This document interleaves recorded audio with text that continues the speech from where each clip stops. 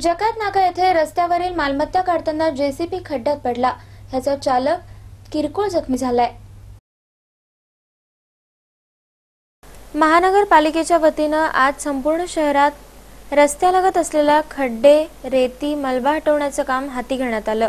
त्याप्रमाणे जकात नाका ते सिडको स्मशानभूमी येथील फुटपाथवरील असलेला मलबा काढण्याचं काम जेसीबी क्रमांक एम एच वीस ए जी पन्नास त्र्याऐंशी चालक गणेश साळवे करत होते. अचानक जमीन ढासळल्यामुळे जेसीबी बाजूच्या स्मशानभूमीच्या भिंतीवरती आदळला. चालक लगेच बाहेर आला. दुपारनंतर मनपाच्या वतीनं क्रेन मागून सदर जेसीबी बाहेर काढण्यात आला.